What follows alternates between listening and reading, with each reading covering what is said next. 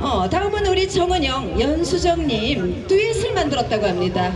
듀엣의 이름은 소백산맥 제2의 삶을 향하여 우리 여러분 제2의 삶을 향하여 우리 열심히 달려보죠. 여러분 뜨거운 박수 부탁드립니다.